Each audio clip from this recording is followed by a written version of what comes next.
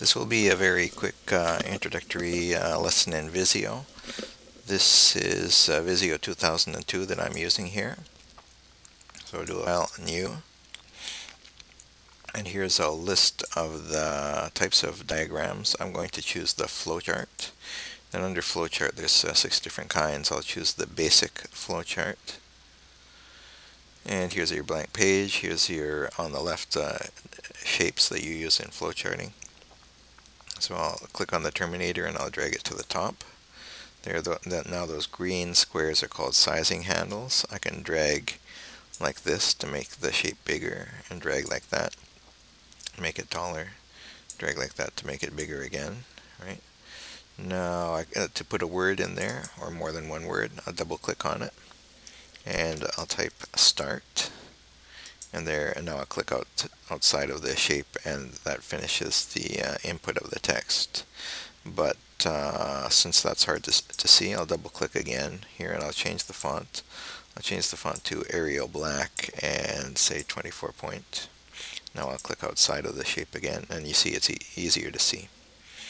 Now I want to add a process box so I'll click here on process box. I'll put it uh, here underneath. You can see that line there that helps you line things up.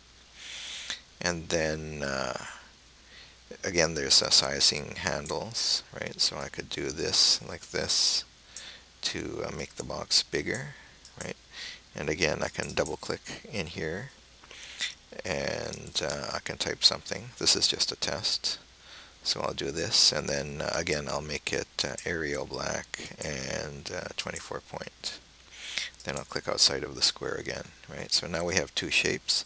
I'll save this, uh, the file save, and the name is uh, drawing 22, right? You can make a name you want. Now I want to draw a line connecting those two shapes, so I'll click here on the connector tool and uh, make sure that there's that blue square around it. Now I have to click exactly on that X and then drag to exactly on the X in the other shape and then it makes a line between them. Right now if I just click on an empty area here it gets rid of those uh, sizing handles. Right?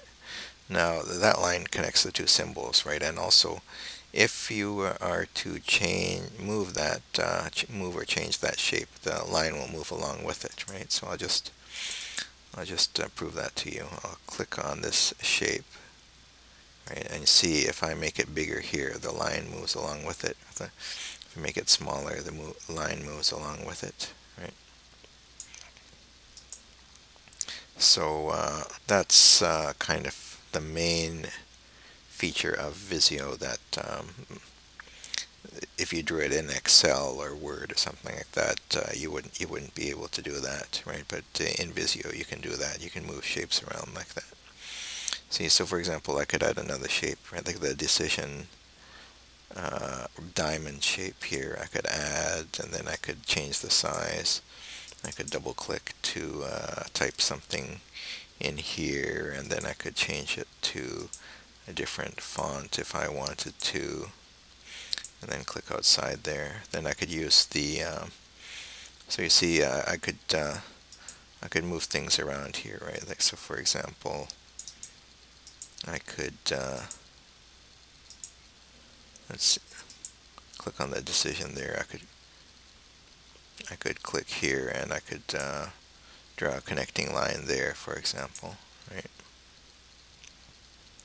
And that doesn't look very good, right? So uh, I could click here again and I could move this more over to the left like that.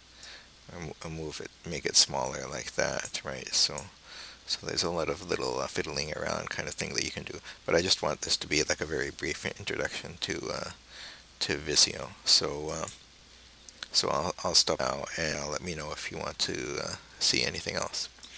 Thanks for watching